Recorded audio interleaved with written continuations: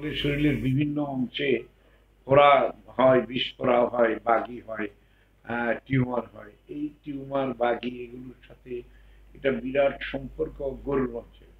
আমরা যতই গরুর মাংস খাই, গরুর মাংস আমাদেরকে অ্যালার্জি তো তৈরি করবে, এছাড়াও বিভিন্ন রোগের সৃষ্টি করবে। আপনাকে যেভাবেই হোক, এই ভাজি, ভুনা, এই কাবাব, বারবাকিউ, এই জিনিসগুলো আসলে সুখাদ্য নয় কুখাদ্য। এটা আমাদের শরীরে নেগেটিভ রক্তের তৈরি করে পজিটিভ কোনো রক্তের তৈরি করে না। নেগেটিভ অ্যালার্জি তৈরি করে পজিটিভ কোনো অ্যালার্জি তৈরি করে না। আমাদের শরীরের ক্ষতি করে উপকার খুবই কম করে। আলহামদুলিল্লাহ, আমরা এখন থেকে যাদের শরীরে ঘন ঘন টিউমার হয়, তারা খেয়াল রাখতে হবে আমাদের লবণটা আইডিন দেওয়া কিনা। সাদা লবণের ভিতরে একটু লেবুর রস দিলে যদি ওইটা রঙের পরিবর্তন আসে সাদা তাহলে বুঝতে হবে এর ভিতরে আইডিন আছে রঙের পরিবর্তন না আসলে বুঝতে হবে লবণে আইডিন নাই। এই জাতীয় লবণ আমাদেরকে কিছুতেই খাওয়া চলবে না। এক নম্বর। দুই নম্বরে আপনাকে খেয়াল রাখতে হবে, নীরব থাকতে হলে, সুন্দর থাকতে হলে ওয়েলি থাকতে হলে, সুশোভিত থাকতে হলে, সুশোভিত বলতে চুলে বেশি চুল থাকা, ভালো স্কিন থাকা গ্লেমার থাকা এগুলি থাকতে হলে কিন্তু ভিটামিন সি কে আপনি বাদ দিতে পারবেন না। মানে সাইট্রাস গ্রুপে সকল খাবার আপনাকে পরিমাণে বাড়াই দিতে হবে।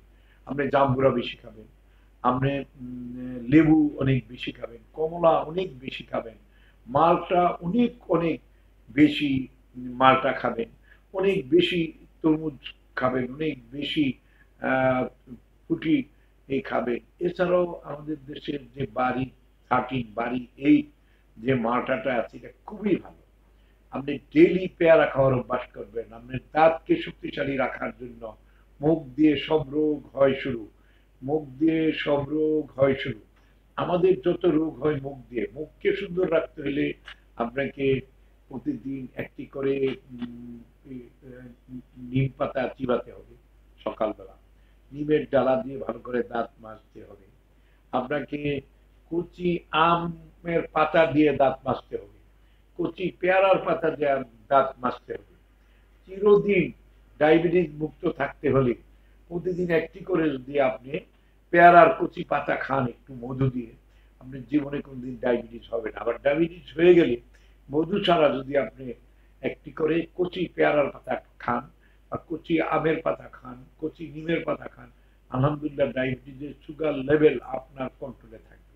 শুধু টাইপ টু বাদে টাইপ টুটার ব্যাপারটা বলা যায় না। অনেকের মায়ের পেট থেকে টাইপ টু ডায়াবেটিসের সৃষ্টি হয়। সেখানে আপনাকে ইনসুলিন নিতেই হবে। কারও কথা শুনে আপনি যদি, আপনার টাইপ টু ডায়াবেটিস থাকে আর আপনি ইনসুলিন না নিয়ে আপনি দাঁতের ক্ষতি করেন, কানের ক্ষতি করেন, গলার ক্ষতি করেন চোখের ক্ষতি করেন, এটার জন্য আপনাকে ক্ষতিগ্রস্ত হতে হবে এবং আপনার ক্ষতি আপনারই হবে। এটা আপনার ভালো বিশেষজ্ঞ ডাক্তার ছাড়া বা বিশেষ করে বার্ডেমের যে শাখাগুলোর ভিতরে আপনাকে মেম্বারশিপ নিয়ে নিতে হবে। কারণ আপনি কোনো রূপ রিক্সে যাওয়া যাবে না। আমরা যেটা বলতেছি, এটাকে আপনি ফার্স্ট এইড ধরবেন। ফার্স্ট এইড ধরলে আপনার ক্ষতির সম্ভাবনা কম থাকবে। তবে হাজার হাজার মানুষ তো এই অর্গানিক চিকিৎসাই সারা জীবন করছে। ন্যাচারোপ্যাথির কাছেই মানুষ ছিল। মানুষ তো সারা জীবনই তো খাদ্য পথ্যের কাছে ছিল।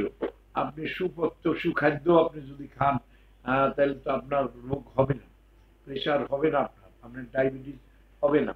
আপনি যদি যে কোনো সময় পেটে অসুবিধা দেখলে পরেই একটু চিনি বা একটু লবণ, একটু পানি, একটু স্লাইন হিসাবে তৈরি করে খেয়ে ফেলান, অথবা ভাতের মারও একটা ভালো স্লাইন ভাতের মারের ভিতরে একটু চিনি, একটু লবণ দিয়ে আপনি রাইস স্লাইন হিসাবে ভাতের মার খেতে পারেন।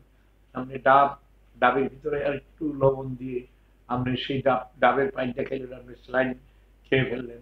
আপনি ভাতের পানি, ভাতের মানে আমরা যেটা পানি ভাত বলি, পানি ভাতের ভিতরে যদি আপনি একটু পেঁয়াজ বেশি করে দেন, একটু রসুন বেশি করে দেন, কাঁচামরিচ দেন, সাথে একটু লবণ দেন, একটুখানি এক চিমটি চিনি দেন, তাহলে এটাও একটা ভালো স্লাইড হয়ে গেল। অনেকগুলি গুণ আপনার হাতের দ্বারে খাবারের ভিতরেই আছে। মায়ের যে পাকঘর, ভাবির যে পাকঘর, নিজের যে পাকঘর, পাকঘরের ভিতরে তো হাজার ধরনের ওষুধ আছে। এই পাকঘর, এক পা বাড়ালি পাকঘর পাওয়া যায়, এক হাত বাড়ালি পাকঘর পাওয়া যায়। অনেক দূরে অনেক ওষুধ কিনতে যাওয়ার দরকার নাই।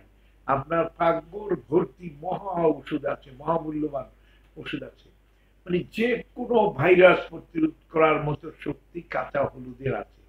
আরও বেশি আছে যেই কাঁচা হলুদটা, বীজ কাঁচা হলুদ।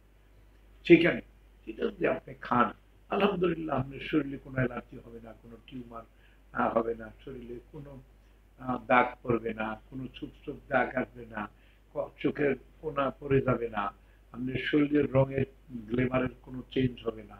আলহামদুলিল্লাহ আপনি বারবার উজু করবেন, গোসল দুইবার করবেন এবং প্রতিদিন পাঁচ মাইল পরিমাণ হাঁটবেন, প্রতিদিন চার কেজি পরিমাণ পানি খাবেন।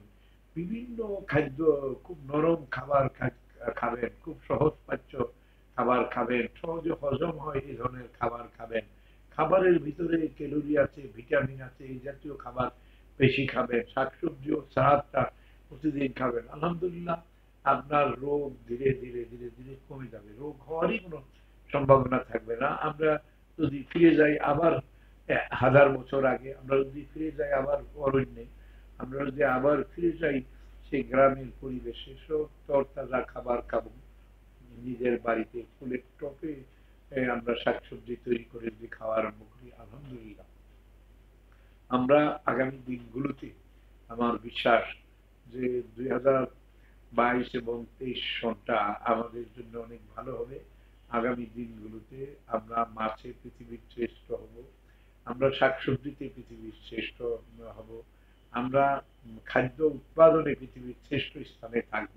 এখন মাত্র আমরা এক, দুই স্থানে আছি, কিন্তু আমরা এই দুই বছরে এক নম্বরে যাব। আর আমরা যদি সকলেই ঢাকা শহরের এই লোডটা কমায় ফেলাই, পদ্মা সেতু জুনে আরম্ভ হলে আসুন আমরা সবাই মিলে একুশটা ডিস্ট্রিক্টের লোক যদি আমরা গ্রামে বসবাস করা আরম্ভ করি আলহামদুলিল্লাহ দেখবেন যে শহরটাও সুন্দর হবে আমাদের গ্রামটাও সুন্দর হবে আমাদের পদাচরণে আহ, গ্রাম অনেক ভালো হবে। আমরা দেশের পরিমাটিকে কাজে লাগিয়ে পদ্মা পাড়ের মানুষরা আমরা আমাদের পরিবেশটাকে অনেক সুন্দর সুস্থির এবং সুশোভিত